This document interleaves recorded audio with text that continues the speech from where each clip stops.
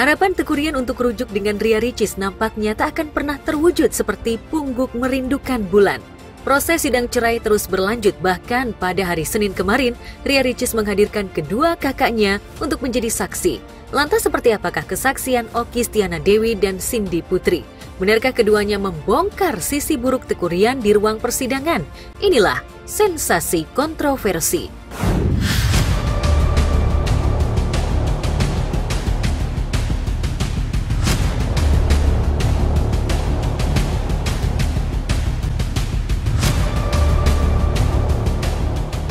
Persidangan Ria Ricis dan Tekurian memasuki babak baru. Hari Senin kemarin, problematika rumah tangga keduanya kembali disidangkan di Pengadilan Agama Jakarta Selatan demi memperkuat agar gugatan perceraiannya dikabulkan.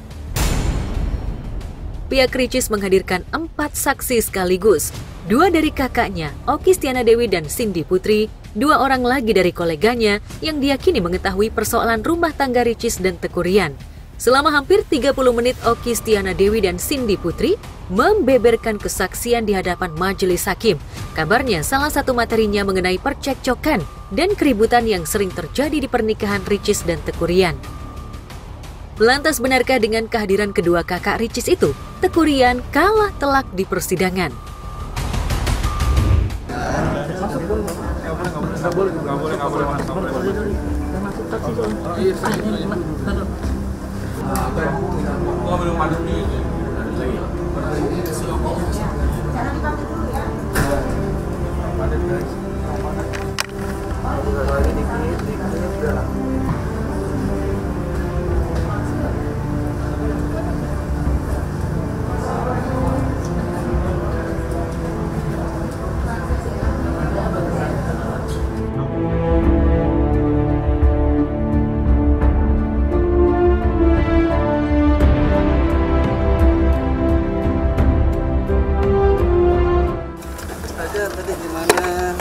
Lancar? Apa aja sih Ustazah yang ditanya sama Pak Hakim? Tanya aja sama Pak Hakim. Tadi Ustazah, saya kan di luar. Tanya yang terbaik.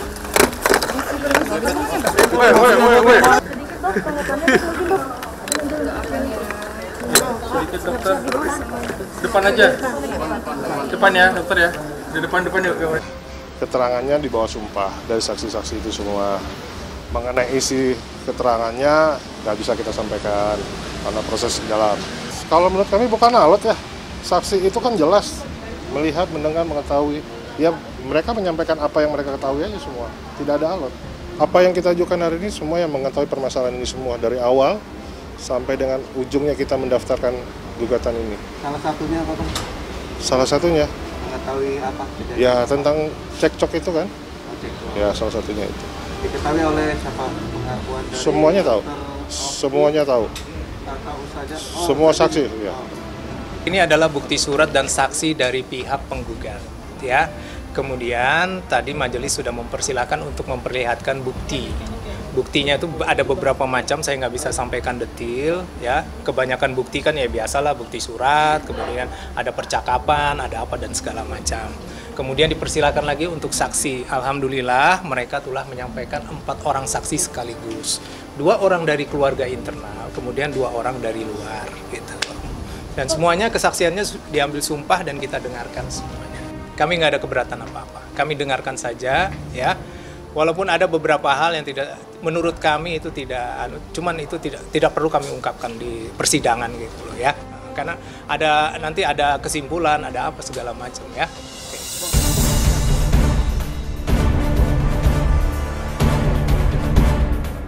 Kehadiran Oki Stiana Dewi dan Cindy Putri beserta dua saksi lainnya memperkuat gugatan perceraian Ria Ricis.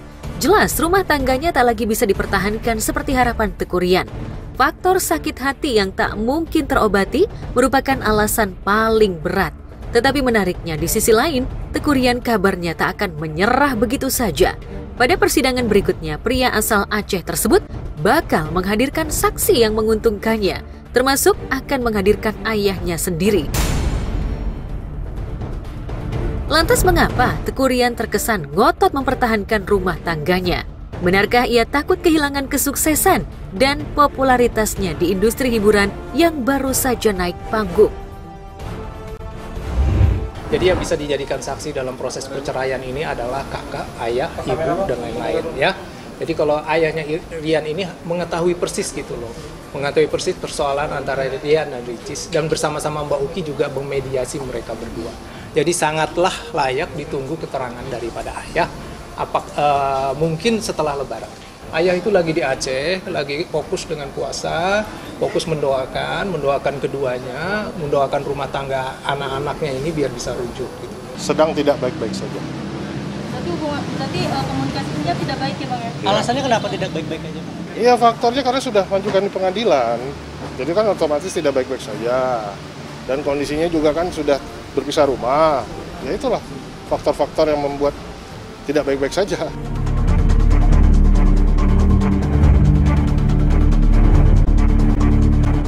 Sebelum menikah dengan Ria Ricis, Teku Rian memang bukan siapa-siapa di panggung hiburan tanah air. Bukan juga pengusaha sukses yang berharta triliunan. Tetapi sayangnya setelah tenar sebagai suami Ria Ricis, Teku Rian malah diterpa gosip panas. Terutama ketika foto dirinya bersama wanita cantik beredar di media sosial. Wajar bila Ria Ricis sakit hati. Wajar pula bila beberapa hari lalu Richie sudah mendeklarasikan diri sebagai single parent. Apa yang telah diberikannya pada Tekurian termasuk cinta dan kehidupan seperti dibalas dengan air tuba. Lantas benarkah upaya rujuk yang diperjuangkan Tekurian tak murni semata karena cinta, melainkan karena demi karir dan segudang popularitas? Benarkah pula Tekurian hanya keberatan mengenai uang nafkah yang dituntut Ria Ricis? Yang kalian ketahui adalah tidak mau berpisah, ya kan? Mau terus bertahan. Tapi di dalam jawaban mereka, mereka meminta soal pengasuhan anak dan biaya anak. Nah, jadi mungkin kalian bisa artikan lah itu apa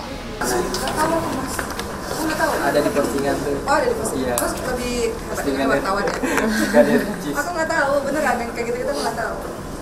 Melihat seperti apa kak? Nggak tahu aku mah.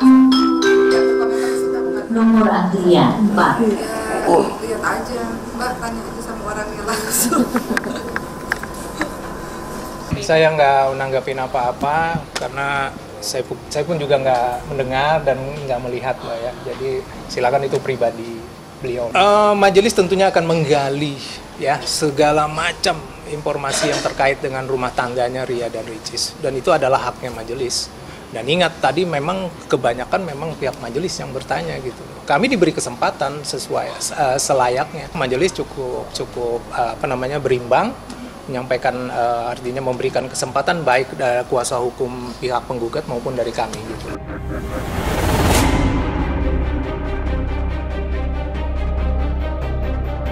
Jalan yang ditempuh Ria Ricis benar-benar pahit. Berbeda dengan kedua kakaknya Oki Stiana Dewi dan Cindy Putri yang memiliki kehidupan harmonis bersama sang suami. Ria Ricis sebagai anak bungsu malah diterpa perceraian di usia pernikahan yang baru menginjak dua tahun lebih.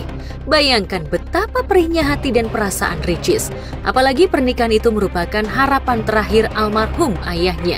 Ia bahkan pernah meminta restu pada almarhum ayahnya di atas makam bersama Tekurian.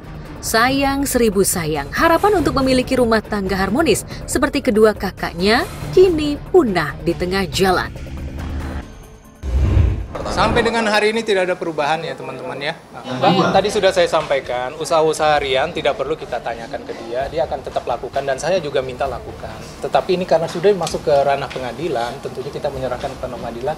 Mudah-mudahan gugatan ini akan berpihak kepada kita. Berpihaknya seperti apa? Misal ditolak, misal tidak bisa diterima. Itu kan masih ada proses lagi gitu loh di sana. Ya, sangat setuju.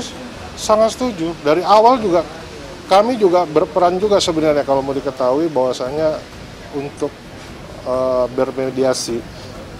Karena suatu hal yang baik kenapa nggak kita upayakan? Itu sudah kita lakukan. Walaupun kami yang tidak diperkenankan untuk hadir saat itu. Dan memang Mbak Oki memang sebelumnya memang sudah berupaya maksimal. Dan sampai hari ini alhamdulillahnya beliau juga bersedia hadir menjelaskan itu semua. Walaupun hasilnya tidak sesuai dengan harapan Mbak Oki juga.